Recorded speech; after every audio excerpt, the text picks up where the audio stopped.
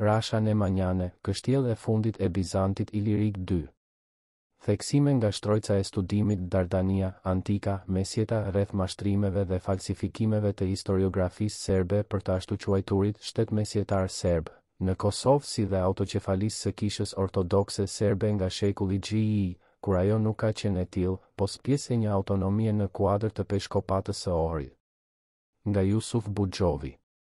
Shthurja e Bizantit me anën e formacioneve të tjera autonome shoqërore dhe politike, feudeve, zhupanive dhe dinastive, siç ishin edhe Despotati i Epirit, Despotati i Artës dhe Regnum Albaniae e vitit një mijë e dyqind e shtatëdhjetë e dy, një mijë e dyqind e nëntëdhjetë e gjashtë dhe të tjerave deri në shekullin XV kur do të marrë fund kjo perandori, në ato rrethana dramatike dhe fare të paqëndrueshme për nga realitetet shoqërore dhe politike. nxori në pah në njërën anë faktorët vendorë mbi të cilët perceptoheshin po edhe ndërtoheshin interesat e Lindjes dhe të Perëndimit për ndikim sa më të madh, kryesisht me anën e faktorit kishë, siç ishte rasti me Perandorinë Katolike të Kostandinopojës pas Kryqëzatës së Katërt më një mijë e dyqind e katër, një mijë e dyqind e gjashtëdhjetë e katër dhe të. despotatit të Epirit dhe në tjetrën anë pretenduesit për fronin e Bizantit, ndër të cilët duhet dalluar dinastinë Nemanjane të Rashës, e cila gjatë kohës së Stefan Dushanit, një mijë e treqind e tridhjetë e një, një mijë e treqind e pesëdhjetë e pesë, ia doli që të jetë forca kryesore e Bizantit, që u quajt edhe Illyricum Magnum. Natyrisht se faktori Rashë, i parë në përputhje me realitetet e kohës dhe jashtë interpretimeve dhe përvetësime, nga ato që do të t'i bëhen nga ana e historiografisë serbe, asaj ruse dhe shkollës së sllavistëve të Vjenës në shekullin XIX, paraqet pikën kyçe të këtyre zhvillimeve historike, ngaqë e nxjerr atë nga pengu i këtij keqinterpretimi, pra i përvetësimit joshkencor, siç është paraqitja e saj themel të shtetit mesjetar serb dhe, po ashtu, Ia merr të drejtën Kishës Ortodokse Serbe që të përvetësojë Krishterimin Ortodoks me liturgji të sllavishtes së vjetër kishtare. Jashtë këtyre përvetësimeve antihistorike, Rashës dhe dinastisë Nemanjane, i kthehet pamja e saj historike me faktorët shoqërorë, politikë nga antikiteti, origjina tribale, si dhe roli i saj në hapësirën e Dardanisë, atë të Maqedonisë dhe të Epirit si forcë hegjemone në zhvillimet që e përcollën Bizantin nga shekulli XII, XV kur do të shembet përfundimisht. Vendosja e shtetit mesjetar serb mbi dihominë e faktorëve joshkencorë, kishë komb, duke u injoruar bërthama sllave nga shfaqja e saj e deri te shtrirja, që më së paku lidhet me gjeografinë historike të tyre siç paraqitet nga serbët dhe, njëherësh duke u përvetësuar sllavizmi si konglomerat etnik dhe duke u konvertuar popujt antikë tribalët, dardanët, keltët dhe të tjerët në serbë në përputhje me fantazinë e priftit të Duklës nga Gesta Regnum Sclavorum, Kralevstvo Sllovena, e Orbinit, paraqet spektrin argumentues të rrëzimit të falsifikimeve që për një kohë të gjatë edhe janë pranuar nga shkaku se ka munguar qasja kritike dhe objektive shkencore ndaj tyre. Ndaj, rishqyrtimi dhe rivlerësimi i kësaj problematike qoftë edhe mbi supozime të shumta, synon që Rasha dhe roli i saj në kuadër të Bizantit po dhe të përvijimeve kishtare Lindje-Perëndim, të nxirret nga përvetësimi dhe interpretimi joshkencor se ajo është themel i shtetit mesjetar serb dhe, të sqarojë edhe të vërtetën për identifikimin e krishterimit ortodoks të liturgjisë së sllavishtes së vjetër kishtare në Ilirik me Krishterimin Ortodoks Serb dhe Kishën Ortodokse Serbe gjoja si Kishë të pavarur kombëtare serbe nga vitit një mijë e dyqind e nëntëmbëdhjetë, kur ajo ka qenë pjesë e Peshkopatës së Ohrit të drejtuar nga Patrikana e Kostandinopojës. Episodet e gjoja pavarësisë nga viti një mijë e dyqind e nëntëmbëdhjetë, një mijë e dyqind e pesëdhjetë e shtatë kur rikthehet qendra e Perandorisë së Bizantit në Kostandinopojë pas largimit të Perandorisë Katolikë dhe vendimet e Koncilit të Lionit të vitit një mijë e dyqind e shtatëdhjetë e pesë, tregojnë më së miri për këtë mashtrim me të cilin për tetë shekuj është ushqyer miti i Kishës së Pavarur Ortodokse Serbe në Bizant, kur kjo do të ndodhë vetëm në vitin një mijë e nëntëqind e njëzet e tre, pra pasi që në Versaj, në vitin një mijë e nëntëqind e nëntëmbëdhjetë, do të njihet Mbretëria SKS si një realitet shtetëror të krijuar pas pushtimeve serbe të. Kosovës dhe të Maqedonisë vise këto kryesisht të banuara me shqiptarë, shumë prej tyre të besimit ortodoks, që do të konvertohen dhunshëm në serbë.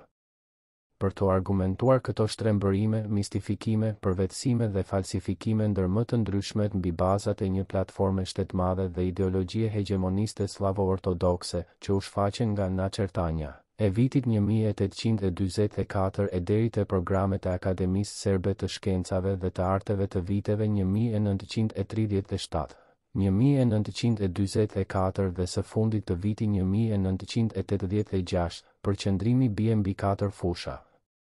Së pari, tek pasqyrimi i falsifikimit të dokumenteve mesjetare nga ana e Kishës Ortodokse Serbe në përputhje me konceptet shtetmëdha dhe ato hegjemoniste të projektuara në Rusi nga mesi i shekullit xvi, me ç'rast pikënisje janë ato të autorëve bizantinë, pastaj literatura hagjiografike me theks të veçantë te përpjekjet që dinastia e Nemanjajve dhe Rasha të nxirret themel i shtetit mesjetar serb, jashtë konteksteve kohore dhe jashtë raporteve shoqërore dhe politike të atyre rrethanave. Ndërsa kisha e Rashës gjoja me autoqefali nga Mesjeta. Ndonëse ishte fjala për një shkëputje të përkohshme nga peshkopata e Ohrit, së cilës do t'i bashkëngjitet pas pak, së cilës madje i atribuohet liturgjia në gjuhën serbe, edhe pse dihet se ajo ishte një gjuhë kishtare e vjetër, amalgam midis sllavishtes dhe bullgarishtes, ngaqë gjuhë serbe do të ketë në gjysmën e dytë të shekullit XIX pasi që do ta formojë V. Karaxhiçi me ndihmën e Shkollës Sllaviste të Vjenës. Të kësaj natyre janë edhe shumë nga monografitë për jetën kishtare serbe si dhe jetëshkrimet rreth jetës dhe veprës së dinastisë Nemanja, të rishkruara ose të falsifikuara, gjithnjë me arsyetimet joshkencore të përpunimit të tyre, në përputhje me qëndrimet hegjemoniste. Ndër këto rrëfime të mbështetura në hagjiografi, literaturë kishtare, bien në sy botimet Sveti Sava, Sabrana Dela, të botuara nga T. Jovanoviq, Beograd një mijë e nëntëqind e nëntëdhjetë e tetë, Stevan Prvovenani, Sabrana Dela, nga Georgievski Jovanovi, pastaj i Vopi Svetog Save nga Teodosie Hilandarski si dhe vepra e Konstantin Filozofit, Povest Slovina, itije Despota Stefana Lararevia, Beograd një mijë e nëntëqind e tetëdhjetë e nëntë, me ç'rast pranohet që ato janë të sajuara në Odesë në shekullin xvi sipas disa rrëfimeve të priftërinjve të atjeshëm.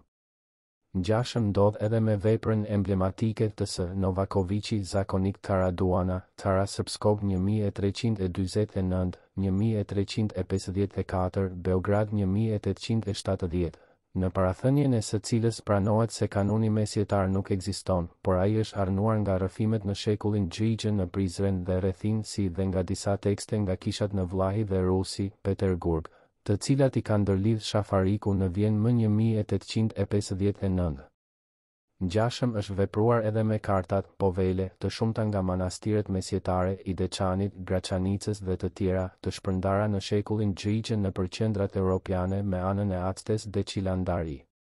Des origines a një mijë e treqind e nëntëmbëdhjetë nga Ivoinovi, Kravari dhe Giros, të botuara në Paris, e ku Kristobula e Deçanit, e viti një mijë e treqind e tridhjetë paraqitet në katër versione. Bulë kjo që në një monografi të Muzeut të Beogradit me kartat mesjetare thuhet se nuk ekziston origjinali, por kopja është besnike origjinalit. Së dyti, te pasqyrimi i konvertimit të vazhdueshëm të tribalëve antikë në serbë, e ku edhe gotët, keltët, dakët dhe të tjerët, gjithnjë në përputhje me fantazinë e priftit të Dioklesë nga vepra Gesta Regnum Sclavorum e Orbinit, nuk i shpëtojnë kësaj praktike. Ndonëse nga burimet kryesore të autorëve antikë, Halkokondyles, Dukas e të tjerë, origjina e Rasianëve lidhet me tribalët ilirë ndërsa Rasha me Tribalin, ata konvertohen në Serbë dhe Serbi.